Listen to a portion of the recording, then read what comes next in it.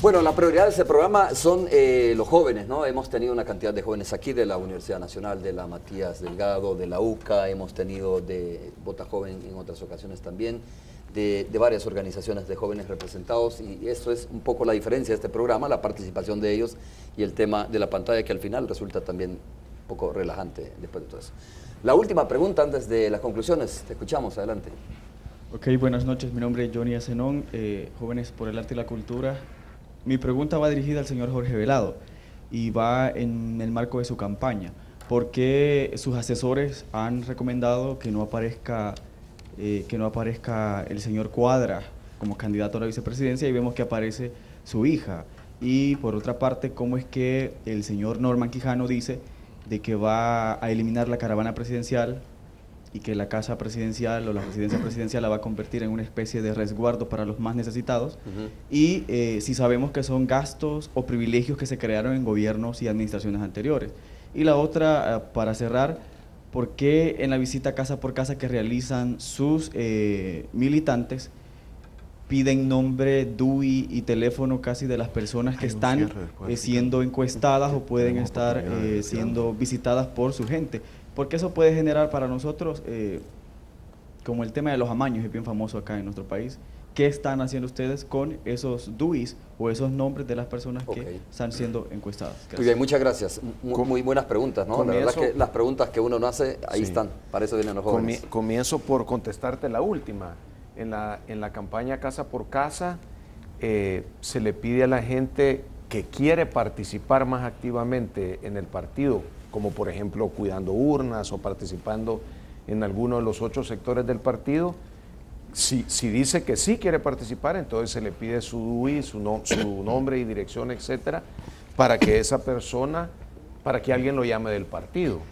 Con respecto al, al doctor Portillo Cuadra, en ningún momento se le está escondiendo al doctor Portillo Cuadra. Lo que sucede es que en una campaña política eh, el rol de cada uno de los candidatos es diferente. Son complementarios. Y el doctor Portillo Cuadra hace un trabajo espectacular precisamente con la sociedad civil, con los jóvenes como ustedes. Es el que más ha participado en mm. visitas a universidades. Se pudiera interpretar como al revés, como que bueno, ¿y por qué no llega Norman Quijano a ver a los jóvenes? ¿O por qué no llega Norman Quijano, no sé, a ver al transporte colectivo, por decir algo? El doctor Portillo Cuadras tiene un rol específico dentro de la campaña, es un tipazo realmente. René creo yo que es un excelente compañero de fórmula. Y lo tercero era...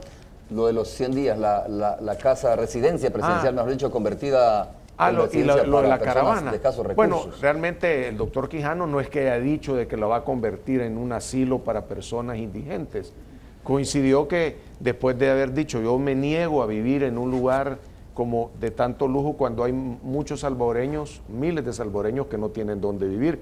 Yo lo voy a poner, dijo él, al servicio de los más necesitados. ¿Pero qué significa la caravana, eso, Jorge, perdone? No sé, que va, a ocupar de alguna manera la, casa para, para algo que pueda servir. Habría que preguntarle a él directamente qué es lo que él considera que es la mejor manera. Con respecto a la, con respecto a la caravana, eh, realmente no ha, la caravana que él tiene es la caravana de sus amigos que lo acompañan. Tenía unos policías que se los había otorgado a solicitud del Tribunal Supremo Electoral que no sé por qué yo traje esa nota que aquí está, que es una, una solicitud del y una nota dirigida al presidente del Tribunal Supremo Electoral, no es una, gestión directa del Partido Arena. Ni del Pero se hizo la solicitud del candidato. No, aquí dice claramente que es eh, se le está mandando el, comisión, el director general al presidente del Tribunal Supremo Electoral diciéndole que reafirmar la, el ofrecimiento que había habido, un acuerdo que, se había dado. ¿Es la carta que, leyó el presidente, Jorge? Solo no, sé si, no sé a dónde la habrá leído el presidente, porque yo, gracias a Dios, no escucho el programa de él de los sábados. la caravana es de amigos. La caravana no es una caravana, por supuesto, es una va a seguridad, un, candidato presidencial hay que recordarlo, pero no es cierto que son agentes del CAM.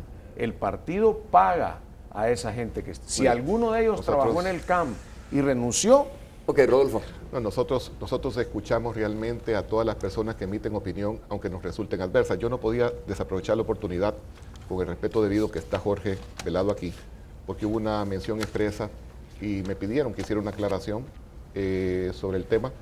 Hubo una mención expresa por parte de nuestro amigo Jorge Velado en el sentido que el PDC, eh, el partido que yo represento, y Ana Guadalupe Martínez habrían sido los artífices de presentar una demanda no es cierto, no de dije inconstitucionalidad. ¿Y qué fue lo que dijiste? eso. Entonces no lo, es leído. eso es lo que publicaron los medios. No. No lo rehuyas. Déjame solo déjame, solo déjame terminar de hablar. Esta fue una publicación que apareció en primera plana en el diario de hoy.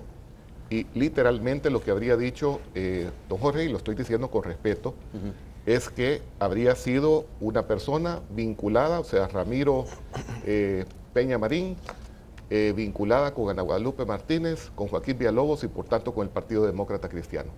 Quiero hacer la siguiente aclaración en nombre del Partido Demócrata Cristiano en esta ocasión. Primero decirles que el mundo de los abogados es pequeño y todos nos conocemos, yo soy abogado, y sabemos que la persona de que se trata, Peña Marín, es una persona que ha estado vinculada con el despacho Calderón Sol, bufete de abogados Calderón Sol. Eso como un elemento de información objetiva. Segundo, rechazar naturalmente el señalamiento.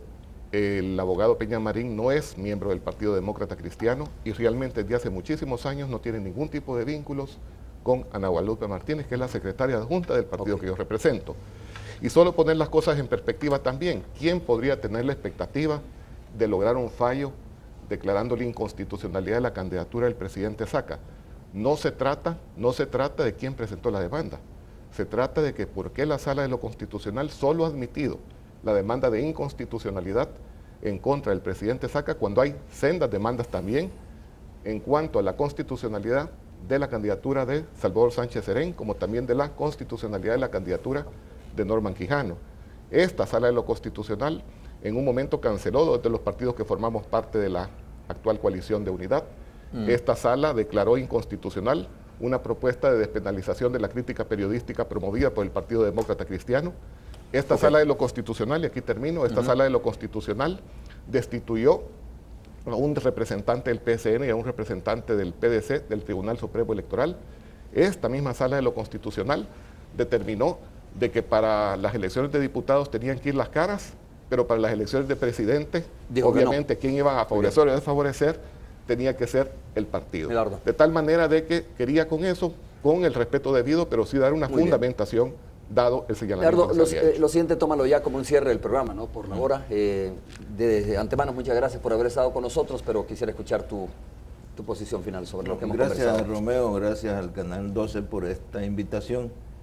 Pues eh, agradezco a Rodolfo y a Jorge haber tenido este buen intercambio y al pueblo salvadoreño decirle y manifestarle de que nosotros estamos convencidos de que el partido Arena, eh, su mayor interés no está afincado en, en, las clases populares, en las clases medias de este país, que nosotros necesitamos continuar con un gobierno del FMLN y con Salvador Sánchez Serén. Ok.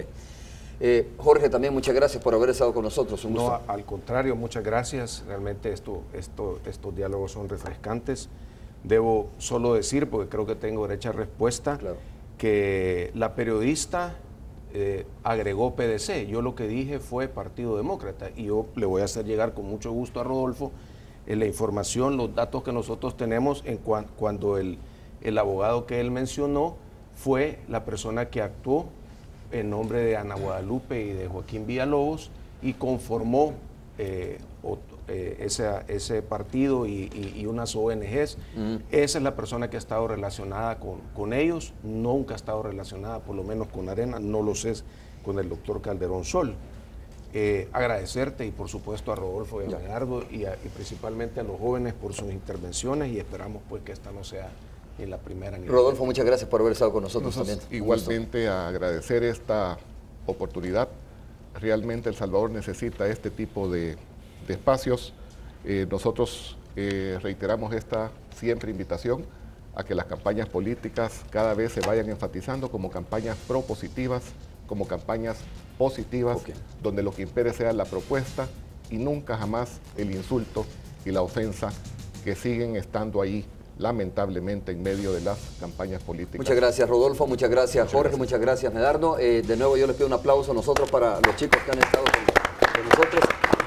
Ojalá que el próximo, eh, quiero decirles que estamos tratando de grabar con las tres fórmulas eh, presidenciales. Sabemos que es bien complicado que ellos vengan en vivo acá, lo digo muy francamente, muy transparentemente. Vamos a grabar con las tres fórmulas, estamos tratando de hacerlo.